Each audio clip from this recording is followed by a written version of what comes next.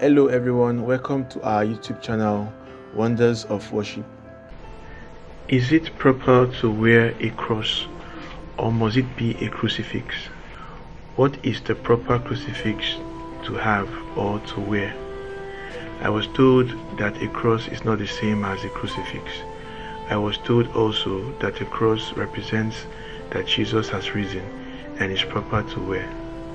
Some Protestants suggest that because Catholics often depict Jesus on the cross, it means that they believe he has not risen. This is, of course, nonsense. Catholics are adamant about the resurrection of Christ. That is why it is written into the creed that we say every Sunday.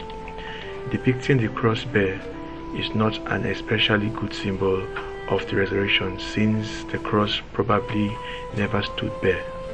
When Jesus was taken down from it, the cross beam that his arms were nailed to was probably removed. It is doubtful that after he rose from the dead, anyone bothered putting the crossbeam back up. From a Catholic perspective, there is a little theological significance for items of personal jewelry, whether the cross is bare in a wide variety of art form, Christians throughout the ages have depicted both Jesus on the cross and the bare cross depending not on the theological considerations but on other factors such as whether the medium they were working in could accommodate the human form easily and whether they had the artistic skill or craftsmanship to fashion a corpus.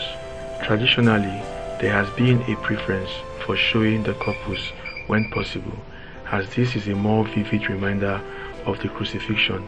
The crucifixion is the whole point of a cross after all. However, this is not a theological mandate. Bottom line, wear whichever one you prefer, though know that most people will identify you as Catholic if you wear one with a corpus. If you are inspired by this video, please give it a thumbs up, subscribe and hit the notification bell for more inspiring videos from Wonders of Worship. Also share the video to family and friends. If you feel blessed and happy, please buy me a coffee as a way of your personal support using the link in the description area of this video. Thanks and God bless you.